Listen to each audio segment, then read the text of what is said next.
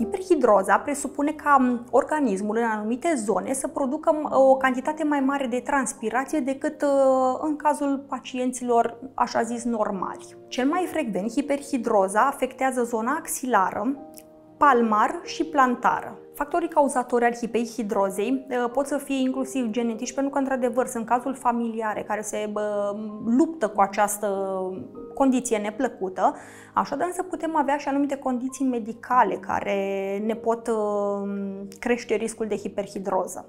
Și anume, problemele tiroidiene, la fel. În general sunt probleme endocrinologice, da? pacienții care se știu cu probleme endocrinologice sau uh, care reacționează la stres automat pot să sufere de aceste condiții. Cea mai eficientă metodă de tratament pentru de hiperhidroză, pentru hipersudorație, rămâne injectarea de toxină botulinică.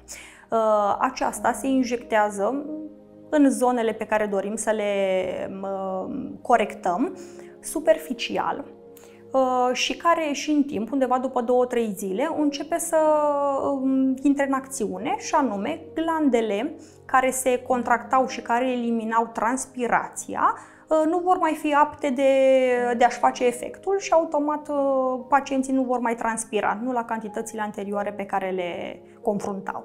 Pentru hiperhidroza axilară, de exemplu, majoritatea oamenilor transpiră da? sau um, corect spus, umezesc hainele. Da? În sezonul cald, la emoții, atunci dacă mă deranjează acest lucru, dacă pătesc hainele, pot să beneficiez de această procedură. Mai supărătoare și poate obiectivabilă este hiperhidroza de la nivelul palmelor, da? pentru că aceasta mă impactează vizibil. Îmi transpiră atât de tare palmele încât nu pot să țin, poate nu știu, telefonul în mână, nu pot să scriu, umezesc absolut tot, nu pot să salut uh, în mod uh, corespunzător. Îmi dă o senzație foarte neplăcută și într-adevăr este cea cu impact uh, psihologic cel mai mare. Injectările cu toxină botulinică pe aceste zone se fac um, oarecum stas. Așa, undeva cam din centimetru în centimetru se injectează uh, cantități mici de toxină botulinică pentru a difuza uniform pe toată suprafața de tratament. În general se face o primă ședință Ehm, în care vom merge pe recomandările generale de injectare și întotdeauna e bine ca pacienții să revină la două săptămâni pentru așa zisul retuș. Când firește, dacă ei mai suferă de transpirație, putem să facem și un test care să ne releve zonele în care trebuie să mai injectăm uh, cantitate de toxină botulinică.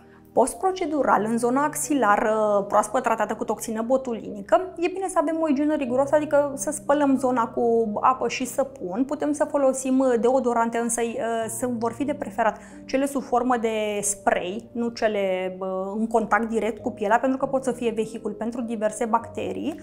Așa, iar când vine vorba de metodele de epilare postprocedurale, e bine totuși ca timp de până la poate două săptămâni să nu folosim metode uh, generatoare de căldură, cum ar fi epilarea cu laser sau cu IPL, da? pentru că ele automat îmi vor uh, uh, crește temperatura.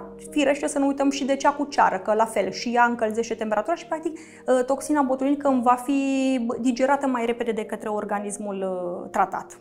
Efectul toxinei botulinice pentru hiperhidroză au undeva un interval de remanență de la 3 luni în sus. Acum, în funcție de variabilitatea fiecărui pacient, de metabolismul propriu, firește. Așa, dar în general un minim de 3 luni de zile este acceptat. Într-adevăr, prin transpirație eliminăm și anumiți produși poate nedoriți ai organismului. Da? Uh, acum să luăm aminte totuși, zonele pe care le tratăm cu toxină botulinică prin prisma hiperhidrozei sunt destul de mici. Da, e o suprafață totuși de 10-20 de centimetri pătrați, e foarte mică față de suprafața întregului corp. Deci, firește, automat bă, pacienții pot să transpire relaxați prin, prin restul corpului, da? care va funcționa la parametri normali.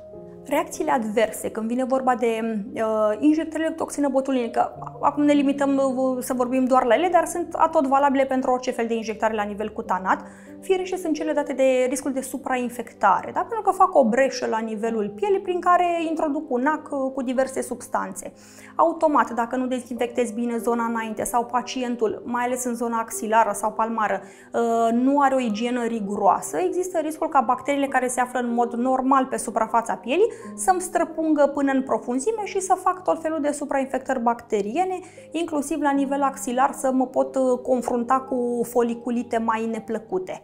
Dar când vine vorba de creșterea riscului vis-a-vis de cancerul mamar sau uh, orice alți uh, ganglioni aflați în zona respectivă, nu există niciun studiu în momentul de față care să ne îngrijoreze în legătură cu acestea.